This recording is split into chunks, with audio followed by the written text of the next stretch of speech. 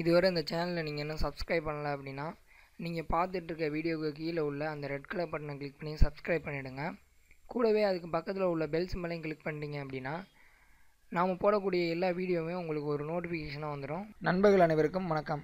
இந்த வீடியோவில் நம்ம என்ன பார்க்க போகிறோம் அப்படின்னு பார்த்தீங்கன்னா நமது கம்ப்யூட்டரில் உள்ள ஃபோல்டரை வந்து ஹைட் பண்ணுற மெத்தடில் ஒரு சின்னதாக ஒரு ட்ரிக்கை பார்க்க போகிறோம் நண்பா. அதனால் இந்த வீடியோ வந்து கடைசி வரையும் பாருங்கள் நார்மலாக நம்மளுடைய கம்ப்யூட்டரில் உள்ள ஃபோல்டரை வந்து ஹைட் பண்ணுற மெத்தட் என்ன அப்படின்னு பார்த்தீங்கன்னா ஜஸ்ட் வந்து நம்ம ஹைட் பண்ண வேண்டிய ஃபோல்டரை வந்து செலக்ட் பண்ணிவிட்டு ரைட் கிளிக் பண்ணோம் அப்படின்னா அதில் ப்ராப்பர்ட்டிஸ் அப்படின்னு ஒரு ஆப்ஷன் இருக்கும். அதை கிளிக் பண்ணோம் அப்படின்னா இதில் ஹிடன் அப்படின்னு ஒரு ஆப்ஷன் இருக்கும். இந்த ஆப்ஷனை வந்து எனேபிள் பண்ணிட்டு அப்ளை பண்ணோம் அப்படின்னா நம்மளுடைய கம்ப்யூட்டரில் உள்ள ஃபோல்டர் வந்து ஹைட் ஆயிரும். இப்போ ஹைடான ஃபோல்டர் நம்ம வந்து வியூ பண்ணோம் அப்படின்னா ஜஸ்ட் வந்து கம்ப்யூட்டரில் போயிட்டு வியூ அப்படிங்கிற ஆப்ஷனை கிளிக் பண்ணிட்டு இதில் பார்த்தீங்க அப்படின்னா இந்த இடத்துல ஹிடன் அப்படின்னு ஒரு ஆப்ஷன் இருக்கும். இந்த ஆப்ஷனை எனேபிள் பண்ணோம் அப்படின்னா நாம் ஹைட் பண்ண வேண்டிய ஃபோல்டர் வந்து திருப்பி வந்து மறுபடியும் டிஸ்பிளே ஆயிரும்.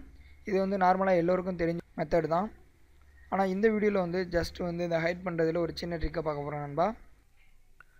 ஓகே நண்பா இப்போ வந்து நாம் சொல்லக்கூடிய அந்த ட்ரிக்ஸை யூஸ் பண்ணி ஃபோல்டரை வந்து ஹைட் பண்ணுறது அப்படிங்கிறத பார்க்கலாம். ஜஸ்ட் வந்து இப்போ ஒரு நியூ ஃபோல்டர் ஒன்று க்ரியேட் பண்ணிக்கிறேன். க்ரியேட் ஆகிடுச்சு பார்த்தீங்க அப்படின்னா இந்த ரீ இந்த ஃபோல்டருக்கு வந்து ரீநேம் வந்து நமக்கு சேஞ்ச் பண்ணணும். அதாவது எம்டியாக ஒரு ரீநேம் கொடுக்கணும். அதுக்கு வந்து உங்களுடைய கம்ப்யூட்டரில் வந்து ஸ்டார்ட் பண்ண கிளிக் பண்ணிக்கோங்க. சர்ச் செய்ய வேண்டிய ஆப்ஷனில் பார்த்தீங்க அப்படின்னா கேரக்டர் மேப் அப்படின்னு டைப் பண்ணிக்கோங்க. கேரக்டர் மேப் அப்படின்னு டைப் பண்ணிங்க அப்படின்னா நமக்கு வந்து ஆட்டோமேட்டிக்காக டிஸ்பிளே ஆகும். இல்லை அப்படின்னா ஃபுல்லாக டைப் பண்ணிங்க அப்படின்னா இந்த ஆப்ஷனை வந்து நமக்கு வந்து டிஸ்பிளே ஆகும். இதை வந்து கிளிக் பண்ணிக்கோங்க.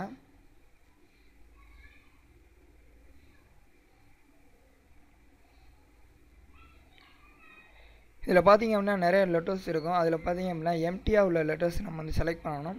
இந்த இடத்துல பார்த்தீங்க அப்படின்னா எம்டியாக இருக்கும். அதில் ஏதாவது ஒரு லெட்டரை வந்து செலக்ட் பண்ணிவிட்டு இந்த இடத்துல பார்த்தீங்க அப்படின்னா செலக்ட் அப்படின்னு ஒரு ஆப்ஷன் இருக்கும். அந்த செலக்ட் பண்ணிவிட்டு பக்கத்துலேயே பார்த்தீங்க அப்படின்னா உங்களுக்கு காப்பி பண்ணுற ஆப்ஷன் இருக்கும். ஜஸ்ட்டு வந்து இதில் காப்பி பண்ணிடுங்க. இப்போ நாம் க்ரியேட் பண்ண ஃபோல்டரை வந்து செலக்ட் பண்ணிக்கோங்க. செலக்ட் பண்ணிவிட்டு அதில் வந்து ரீநேம் ஆப்ஷன் போய்க்கோங்க. இப்போ இந்த ரீ நியூ ஃபோல்டர் அப்படிங்கிற ஆப்ஷனை எடுத்துகிட்டு நாம் அதில் காப்பி பண்ணோம் பார்த்தீங்களா அதை வந்து பேஸ்ட் பண்ணணும். ஜஸ்ட் வந்து கண்ட்ரோல் ப்ளஸ் விஏ ப்ரெஸ் பண்ணிங்க அப்படின்னா பேஸ்ட் ஆகிரும் இல்லை அப்படின்னா ஜஸ்ட் ரைட் கிளிக் பண்ணிட்டு பேஸ்ட் பண்ணிக்கோங்க. இப்போ பார்த்தீங்க அப்படின்னா எம்டியாக ஒரு நேம் வந்து நமக்கு வந்து சேஞ்ச் ஆகிரும் இப்போ பார்த்தீங்க அப்படின்னா வெறும் ஃபோல்டர் ஐக்கான் மட்டும் தான் இருக்கும். நமக்கு வந்து இந்த ரீநேம் நேமுங்கிறது இருக்காது. இப்போ இந்த ஃபோல்டர் ஐக்கானே நம்ம சேஞ்ச் பண்ண போகிறோம் ஜஸ்ட் வந்து ரைட் கிளிக் பண்ணிட்டு ப்ராப்பர்ட்டிஸ் போய்க்கோங்க. இதில் வந்து கஸ்டமைஸ் அப்படின்னு ஒரு ஆப்ஷன் இருக்கும். அதை செலக்ட் பண்ணிக்கோங்க. இதில் கீழே பார்த்தீங்க அப்படின்னா சேஞ்ச் ஐக்கான் அப்படின்னு ஒரு ஆப்ஷன் இருக்கும். அதை செலக்ட் பண்ணிக்கோங்க. இதில் பார்த்தீங்க அப்படின்னா நிறைய ஐக்கான்ஸ் இருக்கும். அதில் லைட்டாக ஸ்க்ரோல் பண்ணிங்க அப்படின்னா இந்த இடத்துல பார்த்தீங்க அப்படின்னா நமக்கு எம்டியாக நிறைய ஒரு நாலு நாலு ஐக்கான்ஸ் இருக்கும். ஒன்று ரெண்டு. இதில் வந்து லாஸ்ட்டாக உள்ள ஐக்கான்ஸை வந்து செலக்ட் பண்ணிக்கோங்க. செலக்ட் பண்ணிவிட்டு ஓகே பண்ணிக்கோங்க.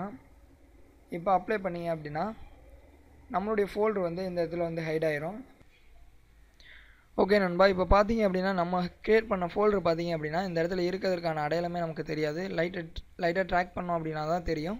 இப்போ இந்த ஃபோல்டரை வந்து நம்ம வந்து நம்மளுடைய டிஸ்பிளே அதாவது டெஸ்க்டாப்பில் வந்து எங்கே வேணாலும் மூவ் பண்ணி வச்சுக்க முடியும்.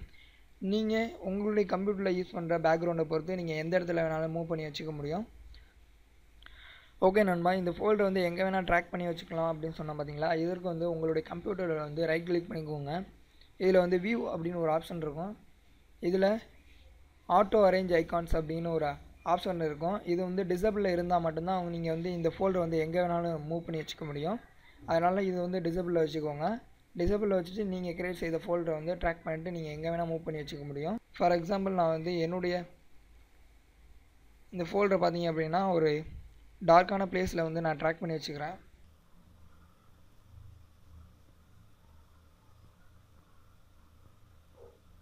இப்போ பார்த்தீங்க அப்படின்னா நம்ம கிரியேட் செய்த ஃபோல்டு வந்து இந்த இடத்துல தான் இருக்குது அது வந்து நமக்கு மட்டும்தான் தெரியும். இதன் மூலம் வந்து நம்ம வந்து எளிமையாக வந்து எல்லா ஃபோல்டரும் ஹைட் பண்ணி வச்சுக்க முடியும் நண்பா.